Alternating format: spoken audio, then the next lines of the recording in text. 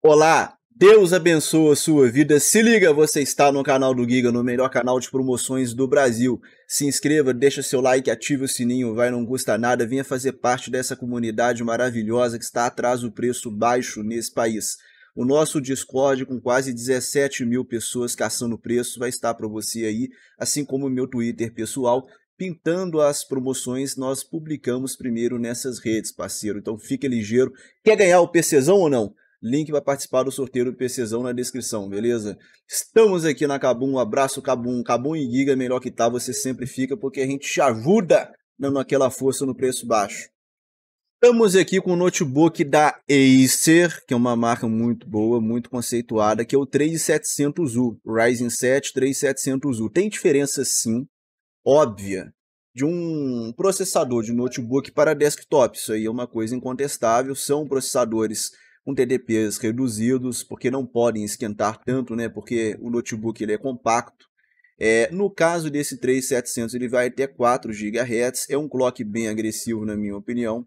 Você tem aqui o dual de 8 GB, né? 4 mais 4, é, operando a 2,400. Então, assim, sim, cara, tem um impacto, tem uma diferença quando a gente compara, por exemplo, a um notebook de desktop. Esse 3700, ele é um 4/8, com um clock bem agressivo, ele pode chegar a 4 GHz, né? É, esse notebook ele tem aí 768p num painel TN, mas o TN da Acer é de excelente qualidade, tá? Ele vem com gráfico integrado Vega 10.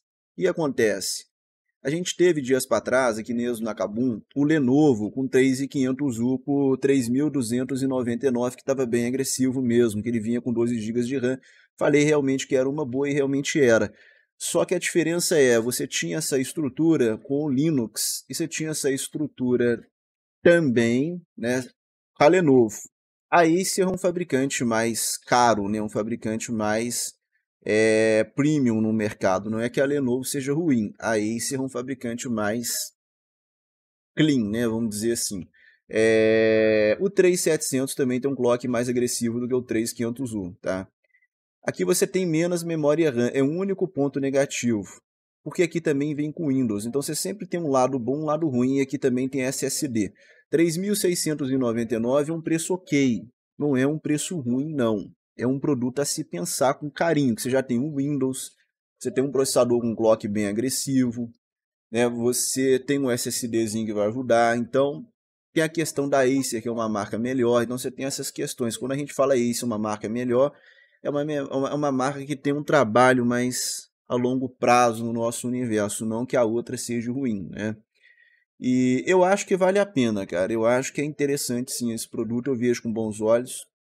Você pode depois colocar mais um pente aí de 8 GB, ou então de 4 GB, fazer um, um 12 GB, pode, você pode expandir depois. Pode depois colocar mais um SSD, ou trocar o SSD. Então eu vejo com bons olhos realmente o valor desse produto não é um, um, um valor ruim não, tá? Então se você quer um produto interessante e assim teve gente me falando assim não, mas o, o 3500U ele é muito ruim, você vai ter um desempenho ali como se o negócio fosse a metade do desempenho ou menos do que um desktop, né? Porque uma APU de desktop não é bem assim, é, não é a metade do desempenho, é um pouco menos. E eu lhe digo o seguinte, o 3500U e o 3700U, pelo meu conhecimento, não sou um expert, sou um analista de mercado, mas assim, pelo que eu já experimentei, pelos testes que eu já vi, pelos analistas em hardware, né, que são os experts em hardware que eu já conversei, é, esse produto aí, ele tem uma performance mais próxima de um 3200G. Não é ruim. E ele tem o SMT, né? ele tem os 8 threads que deixam ele um pouco mais aliviado que um 3200, por exemplo. Mas a performance de jogar gráfica é perto de um 3200 não é perto do 3,400, quer dizer, um degrau a menos, mas não é metade do desempenho, você tá doido? Bom, a Kabum também se destaca com placa-mãe nesses dias, né? A gente bate para você de novo aquele papo maneiro. No Brasil, a grande vantagem é que você tem a garantia, né? E a confiança dessas empresas que a gente tem aqui. Então você tem, por exemplo, a Asus Prime B450 Gaming BR, é uma placa de entrada da Asus B450 por 579 com cupom dos parceiros. Cadê o nosso, Kabum? 550 reais. Então, é, essa placa pode sair para você no Brasil por 550 à vista, né, que é um preço ok. Ela não tem dissipador no VRM, Mas o Popo Peperai já fez teste de overclock com ela, ela, ela aguentou, cara. Não é uma placa ruim não, tá? Então aí uma opção para você. É, é uma placa que a gente recomenda overclock, no meu caso eu recomendo overclock de gráfico integrado. Não recomendo overclock de CPU por conta até do dissipador, embora ele aguente. E por que isso? Porque você acaba estressando mais o VRM quando ele não tem é, o dissipador. Né? Então tem essa questão que eu, eu prefiro te falar o seguinte, ó. Gráfico integrado, sussa você fazer over. CPU, tira o pé do acelerador. Mas você tem também, por um outro lado, uma coisa interessante, que é o seguinte, ela roda bem o 5600X, já tem teste dela rodando o 5600X de forma bem sucedida, sem extrapolar, sem fritar o VRM, que é uma coisa positiva. E a BIOS da ASUS é uma BIOS muito boa, a melhor BIOS do mercado. Então, é uma BIOS em português, para você fazer atualização de BIOS da ASUS, até pelo desktop você faz. Então, assim, eu vejo com bons olhos, sim. É um produto interessante para quem quer gastar menos, quer comprar no Brasil. Né? Você tem o suporte e garantia da ASUS no Brasil, é muito bom. 550 reais é um preço ok, ele já teve preços melhores em promoção, só que o melhor preço em promoção é 500 reais. Então, se você não quiser esperar uma promoção, tiver urgência do produto, 550 é um preço que dá para pagar um preço razoável. Tá? Bom, a gente tem essa outra placa aqui da Gigabyte, que é a Gigabyte B450 Gaming, que ela está saindo por 624 reais. Qual que é a diferença dessa placa? Tem um PC Express blindado, que é uma coisa importante quando você vai colocar uma placa de vídeo triple fan, aquelas placas maiores, né, mais pesadas. Então esse reforço no PCI é bem-vindo para a durabilidade, a longevidade do PCI com uma placa pesada, tá? Tem um dissipador no VRM, é uma placa bonita, né, um perfil interessante. 624 reais, um preço ok. Essa placa não é ruim, uma placa boa, tá num preço ok, tá num preço bom. Dá para fechar porque a média dela é 700, 650 reais, ela tá um pouquinho abaixo. Então isso ajuda bastante, tá? Então tá aí para você a sua B450 Gaming da Gigabyte num preço bem interessante para você aí, tá? E aqui dá para a gente brincar com o overclock de CPU, Ryzen 3, Ryzen 5 e também rodar bem o 5600X atualizando a BIOS, uma boa opção para você. A gente tem essa daqui que é a minha preferida no Brasil hoje com relação à qualidade, custo, benefício, esse tipo de coisa, que é a B450 da Steel Legend. É uma placa que tem um dissipador com é, RGB, né? Bonito demais. Uma placa que tem uma aparência mais clean, uma aparência aí mais premium, né? Tem o dissipador também blindado.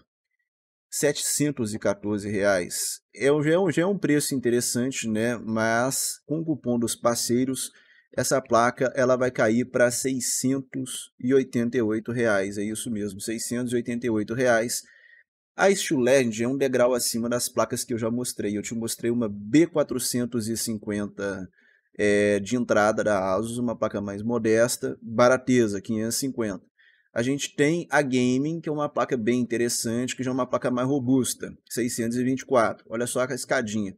E agora a gente vai ter a Steel Legend por 688, quer dizer, uma diferença entre elas de 50 a 70 reais. Você vai subindo o grau. Qual que é a diferença de uma Steel Legend, por exemplo, quando a gente compara essa placa com uma Prime ou então com uma Gaming? A Steel Legend é mais robusta. Então você vai ter um dissipador é, e uma estrutura de VRM um pouquinho melhor do que as outras que eu mostrei. Não é que as outras sejam ruins, tá? Essa placa aí ela roda tranquilo 5600X. O Lucas Peperai já fez testes dela rodando 5600X de boa, não dá throttling, aguenta, o VRM aguenta o 5600X. Agora para por aí, eu não recomendo o 5800, apesar que roda. Inclusive o Tito Tech, né, o, o, o Tito fez é, o 5800 rodar nela, é, mas eu não recomendo você rodar ele porque pode, pode sim ter throttling, né? porque fica o VRM muito no limite, porque o 5800X vai exigir muito dela. Agora o 3700X, 3800X já dá para rodar, né? E essas placas B450, qualquer modelo praticamente, a gente recomenda para Ryzen 3 e Ryzen 5 para fazer overclock. Ryzen 7, a gente recomenda rodar em estoque, só para vocês entenderem, tá? Então, uma placa é bem interessante. Se você quiser uma placa no Brasil com nota fiscal e garantia, está aí por 688 com cupom dos parceiros. Bacana. A gente tem para fechar aqui as placas da Kabum, a TUF B550, que é a minha placa. Hoje a minha placa principal do meu PC principal é uma TUF B550 Plus, que é essa placa aí. Né? A B550, qual é a diferença dela? Para, por exemplo, uma Legend ou mesmo a, a TUF B450, qual é a diferença que a B550 TUF traz? Ela traz um VRM mais robusto. Então essa placa ela roda o 5800X com folga. É uma placa que já aguenta rodar um 5800X com folga. Até mesmo dá para fazer um overclock. Né? Mas overclock, eu esses CPUs com TDP mais alto, eu gosto mais de indicar a X570. Tá? Mas é, é uma placa que você tem é, mais tranquilidade, mais robustez para você mexer com o Ryzen 7. Então, o Ryzen 7, a placa perfeita para ele é uma B550 só que de boa qualidade, que não adianta também você falar comigo assim, essa B550 aqui de 600 reais não tem nada, aí não, né, cara? Mas se for uma B550 de uma boa qualidade, uma boa estrutura, ela é perfeita para qualquer Ryzen 7. Poxa, mas 929, cara, tá salgado, eu tô ligado, mas com o cupom dos parceiros sai a 880. 880 reais. 200 reais mais caro do que a Steel Legend. Aí que tá. Se você falar comigo assim, não, eu quero um 5800X, eu compraria, eu pagaria 200 reais a mais, compraria a TUF B550 para rodar ele 100% sem nenhuma dor de cabeça. X570 é acima de mil reais, mil duzentos reais. E aí seria a placa perfeita, né, para você colocar praticamente qualquer CPU Ryzen, só que aí você vai ter investindo um valor bem alto. E nós estamos falando quase o dobro do que custa uma Steel Legend, aí já pesa a amizade, mas essa placa aqui dá conta do 5800X e tem sido um bom casamento. A vista 880, para quem vai comprar a vista, é um produto interessante para o 5800. Ah não, mas eu não vou colocar o 5800, eu só quero um 5600X e boa, quero uma placa boa para o 5600X e não quero dor de cabeça, quero uma placa parruda. A Steel Legend, cara, 688. Durabilidade, longevidade, excelente suporte ao 5600X, não precisa gastar 200 reais a mais. Tá vendo a diferença dos produtos? Essa aqui é bem dimensionada para qualquer Ryzen 5. E você tem o PCI blindado, você tem uma estrutura aí de uma placa premium, então não precisa de você investir tanto dinheiro assim para você rodar um 5600. É minha visão. É apenas uma questão de visão. Na Americanas, a gente tem aqui a Pichal, a própria Pichal, vendendo aqui o kitzão aqui de memória. São duas memórias de 8 GB, 3000 MHz da XPG. Só que na Americanas está rolando um cupomzão aí que eu achou 100. Eu não sei se esse cupom está funcionando ainda. Eu acredito que sim, pelo que eu estudei, sim. Então, de 536 reais vai sair por 436 reais com cupom achou 100. Então, bem interessante. Se eu não me engano, você tem que comprar pelo aplicativo, parece, para fazer funcionar. Então, você testa no desktop, não deu, vai no aplicativo, né? Então, tá aí, pode chegar para você a 436 reais e é maravilhoso. Imagina, um dual hoje 16 no Brasil por 436, você divide, dá 200 e poucos reais, dá 218 reais em cada memória, cara. Isso é praticamente o preço do AliExpress hoje. Né? E você tem a prazo, a diferença é muito pouca. Então, com o cupom a prazo vai sair a 464. 464 em até 12 vezes. Sensacional. Tá aí para você uma oportunidade de pegar um produto com nota fiscal e garantia da própria Pichal, que é uma empresa bem confiável na Americanas. São duas empresas extremamente confiáveis, então isso aqui é interessante. Ah, não conseguiu o cupom. 564 não é ruim, mas o pessoal tem conseguido aí, cara. É, porque 564 no cartão no Brasil não é uma coisa é uma coisa interessante, com nota fiscal, com garantia. Lembrando que a XPG no Brasil te dá 10 anos de garantia, então você tem que considerar essas coisas. Você quer 10 anos de garantia? O produto aí tá top demais o preço dele, então tá aí para você pensar. Com cupomzão 436 à vista ou 464 no cartão, é um preço bem interessante. A gente tem também aqui na, na Pichal o SSD de 256 GB SATA por 219 reais. É um preço bem agressivo, é um preço realmente bem forte. A Pichal pegou agora, entendeu? Baixou o preço do SSD, as coisas estão melhorando. A Pichal tá de parabéns, é um preço bem bruto mesmo, bem agressivo que ela colocou agora para a gente. Pro outro lado da força, a gente tem o SSD da Hikvision na Terabyte, 240 GB por 249, que está mais caro. Mas qual que é o diferencial? 3 anos de garantia. 30 reais a mais. Então, a Pichal está de parabéns com o seu 256 por 219, mas você tem essa opção aqui bem-vinda, principalmente pela garantia, e a garantia é direto com a Terabyte. Então, eu, eu vejo isso com muito bons olhos, porque você está comprando, não é só o preço, você está comprando uma experiência, você está comprando uma garantia diferenciada, um RMA diferenciado. Então, você tem mais segurança no produto. Agora, você que vai avaliar, se quer pagar um pouquinho mais em conta, beleza. Se quer pagar um, se aceita pagar um pouquinho mais caro com uma garantia de 3 anos e 120 GB você vai ter aqui na Terabyte por R$ 149,00, mantendo os 3 anos de garantia. Esse SSD de 120 ele é perfeito para você que tem um HD. Eu tenho um HD velho aqui de 500 GB, quero aproveitar ele, ele está bom ainda. Compro o SSD de 120, você instala o Windows e otimiza ele. Ah, mas eu quero rodar o Watch Dogs Legion no SSD. Ele vai ter espaço. Porque o Windows ali você vai gastar uns 30 GB ali. Vamos colocar o Windows com alguns programas de 30 a 40 GB, dependendo dos programas que você usa no PC. O Lead ali uns 80 GB, então dá mais ou menos isso. Dá para você colocar um jogo pesado e dá para você colocar o Windows. Então é interessante sim a opção, se você já tiver um HD, de você investir num SSD de 120 e pagar mais barato. E a Pichal também está dando trabalho, ela está com a fonte Mancer de 400 watts é uma fonte que a TecLab aprovou, boa qualidade, né, uma estrutura de fonte de entrada, mas uma fonte boa qualidade, com Ripple seguro. R$ 199,00, um excelente preço, mandou muito bem. Só que assim, 400 watts você fica muito preso, né? O seu, a sua possibilidade de colocar placa de vídeo se reduz muito.